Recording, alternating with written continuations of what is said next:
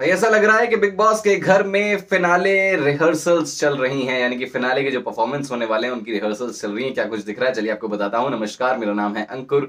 आप देख रहे हैं बॉलीवुड स्पाई मुझे फॉलो करने के लिए आप इंस्टाग्राम पर आ सकते हैं। यूज़र नेम है RJ Ankur underscore I G हाँ जी सो बिग बॉस के घर में लाइव फ़ीड में दिखाई दे रहा है कि रुबीना दिलेक जो है, वो एक पहाड़ी डांस करती हुई नज़र आ रही है, खुद कोरियोग्राफ कर रही हैं और उनके साथ घर वाले भी डांस करते हुए नज़र आ रहे हैं। आपको बता दूँ कि बिग बॉस में जो है पहाड़ी कॉस्ट्यूम वगैरह भी भेजे हैं, सर पे जो बांधते हैं सब कुछ, पहाड़ी कपड़े भेजे हुए हैं, जिनको पहनकर रुबीना दिलैक रिहर्सल करती नज़र आ रही हैं, खुद ही कोरियोग्राफ कर रही हैं, बाकी घर वाले डांस कर रहे हैं। तो ऐसा कहा जा सकता है, या ऐसा सोचा जा सकता है कि हो सकता है कि फिनाले वाले दिन रुबीना दिलैक एक पहाड़ी परफॉर्मेंस देती हुई नज़र आए। रुबीना दिलैक का कनेक्शन पहाड़ों से ही है, उनका गाँव जो है वो पहाड़ों में ही है, हिमाचल से आती हैं।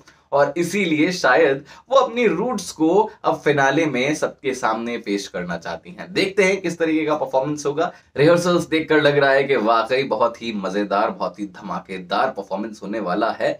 तो आप बस दिल थाम कर बैठिए, इंतज़ार कीजिए इक्कीस फरवरी का। दिख जाएगा कि रूमीना दिलैक क्या परफॉर्म करने वाली है। अभी के लिए इतना ही। मेरा नाम है अंकुर। आप देख रहे हैं बॉलीवुड स्पाई